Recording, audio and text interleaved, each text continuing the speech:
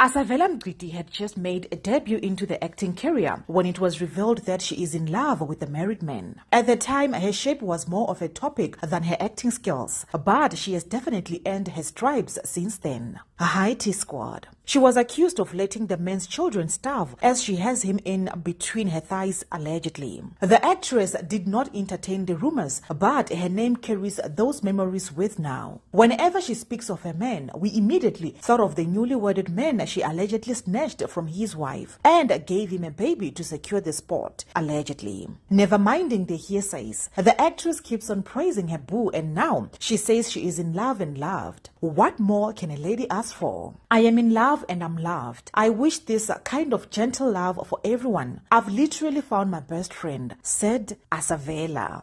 Dear Asavela, we're hoping that the man you are talking about is not a stolen man. We wish you well, sis. And that's it for now, T Squad. Do leave your comments down below. I love you.